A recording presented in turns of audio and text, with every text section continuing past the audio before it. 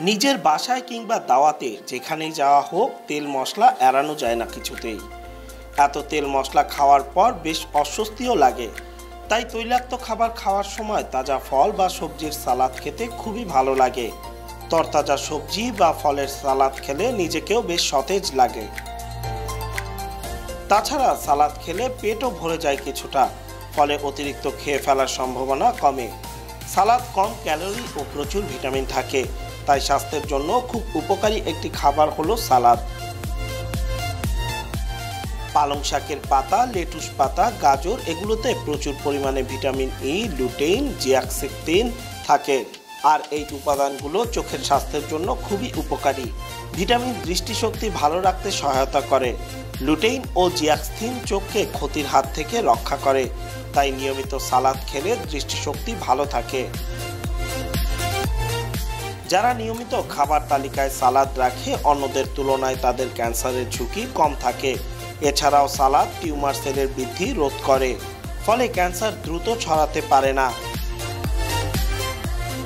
যারা নিয়মিত খাবার তালিকায় সালাদ রাখে, অন্যদের তুলনায় তাদের ক্যান্সারের ঝুঁকি কম থাকে।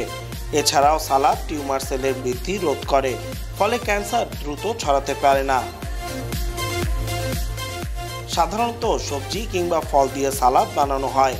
তাজা সবজি ও রঙিন ফলমূল হৃৎপিণ্ডের জন্য খুবই উপকারী। এছাড়াও নিয়মিত সবজি ও ফলমূল খেলে রক্তের ক্ষতিকর কোলেস্টেরলের মাত্রা কমে। তাই প্রতিদিন খাবারের তালিকায় সালাদ রাখলে হার্টের বিভিন্ন অসুখের ঝুঁকি কমে যায় এবং স্ট্রোক হওয়ার আশঙ্কাও কমে। সালাদের সাথে শশা পালং শাক কিংবা লেটুস পাতা ব্যবহার করলে ডায়াবেটিসের ঝুঁকি কমবে। গবেষণায় দেখা গেছে, শরীরে ম্যাগনেসিয়ামের অভাবের কারণে টাইপ দুই ডায়াবেটিসের ঝুঁকি বাড়ে। নিয়মিত প্রচুর পরিমাণে সালাদ খেলে প্রতিদিনের ক্যালসিয়ামের চাহিদার প্রায় ষোলো পার্সেন্ট পূরণ হয়ে যায়। যারা ওজনের সমস্যায় ভুগছেন, তারা নিয়মিত সালাদ খান। সালাদে প্রচুর পরিমাণে ফাইবার আছে। এছাড়াও প্রচুর ভিটামিন আছে, ফল কিংবা সবজির সালাদে।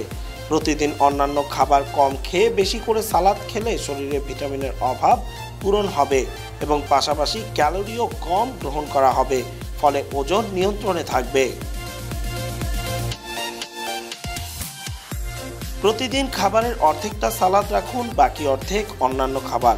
তবে সালাদের সাথে ক্রিম, পনির কিংবা ম্যায়োনেজ ব্যবহার না করে সবজির সালাদে সামান্য অলিভ অয়েল অথবা স্রেফ পেঁয়াজ, মরিচ ও লবণ দিতে পারেন। হয়তো একটু সরিষার তেল দেয়া যায়। লেবু, ধনে পাতা ও পুদিনা পাতাও ব্যবহার করতে পারেন স্বাদের জন্য। City news desk, Dhaka.